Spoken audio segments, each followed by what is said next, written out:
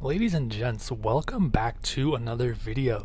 This one's going to be a little different than normal. We're not going to be reviewing any devices that I currently own. We're going to be talking about the new iPads that Apple launched today on May 7th at 10 a.m. Eastern Time. So let's begin. We're on Apple's website here. We're going to head over to iPad.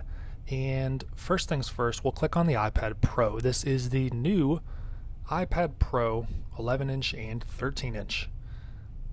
It is the thinnest Apple device they have ever made. It's even thinner than the iPod Nano. As you can see here, it's the thinnest Apple product ever. And we can scroll through here, but you guys can do that on your own. Really, what I want to draw your all's attention to are some of the very subtle differences between the new iPads and comparing them to the older iPads. So, what we're going to do, we're going to compare the M4 We'll do the 11 inch iPad Pro with the M4 compared to the iPad Air 11 inch with the M2, also compared to the iPad Pro 11 inch fourth generation. So, no, sorry. Yeah, fourth generation with the M2 chip. The new M4 iPad Pro gets a space black, similar to the M3 MacBook Pros. Silver is still an option, the same as it was on the previous gen iPad Pro. The iPad Air, of course, does get a few different color options, but scrolling down, the displays are very similar. There is a new nano texture display option on the 1 and 2 terabyte models for the M4 iPad Pro. And here's where things get a little bit interesting. I noticed that when we're looking at the chips here, the M4 says up to 10 core CPU. That means there's another option for that. So let me show you guys what that means. If we open another tab, we head back into iPad and we find our iPad Pro. We're going to click on the Learn More option up here at the top once it shows up. Let's see. No, we're not. We're going to scroll. Oh, yeah. Wait. No, tech specs. We're going to click on tech specs here and scroll down till we find the processor. So let's see. Here we go, M4. So here's where things get interesting. With the 256 and the 512 gigabyte storage options, you get a 9 core CPU that's going to give you 3 performance cores and 6 efficiency cores. However, with the 1 and 2 terabyte storage options, you get a 10 core CPU with an additional performance core. So that's something to keep in mind. You're losing a performance core with the lower base configuration 256 and the 512 gigabyte storage. You're going to have to upgrade to the 1 or 2 terabyte option if you want that full 10 core CPU with all four performance cores. You also get double the RAM on the 1 and 2 terabyte iPad Pro models. If you get the 256 and the 512, you're stuck with 8 gigabytes, which I'm sure is more than fine for an iPad but if you really are pushing this thing to the limit, 16 gigabytes is going to be very nice to have. All right, let's go back to our comparison. The new iPad Pro loses the ultra wide camera. So, previous generations, uh, the 11 inch, the fourth, third, and the second gen, had a wide camera as well as an ultra wide. So, our new iPad only has a single camera on the rear side, which is quite interesting that they took away a camera. I can't remember the last time they've ever taken away a camera on a device like that. All right, moving down here, these things are very similar. Apple has also removed one of the microphones on the iPad Pro. So the fourth gen with the M2 chip had five studio quality mics. The new M4 iPad Pro only has four studio quality mics. A little bit interesting there, their decision to remove one of the microphones. We'll see if that makes any real world differences once these launch.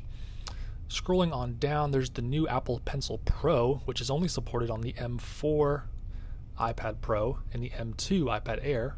It does not work on any older models. There's also a new Magic Keyboard, which is only for the newer M4 iPad Pros. Here's the storage configurations, so we lose out on the 128 gigabytes. That's been upgraded to 256, but the pricing reflects that, so you're not really gaining much. Dimensions are a little bit different. The new iPads are thinner and lighter. Displays are very similar, but you do get OLED on both the 11 inch and the 12 inch. But you do get OLED on the 11 inch and the 13 inch M4 iPad Pro. Brightness is also increased quite a bit. And there's the obviously the new nano texture option on the one and two terabyte models. ProMotion stays the same, wide color, true tone, yada yada. Oh, once again, here we go. Here's the nine core CPU compared to the 10 core CPU, depending on which storage capacity you get. Everything else is the same, same GPU, but the RAM is doubled for the one and two terabyte options. Media engines are a little bit different here. They've improved on those and added a few more. Battery life is apparently the same, even though there's no way the battery is the same size. Definitely smaller in the new iPads. And the Apple Pencil Pro adds a bunch of different features, which is pretty interesting. We'll see how those play out in the real world. Here's our camera. Again, we lost that ultra wide camera on the new M4 iPads.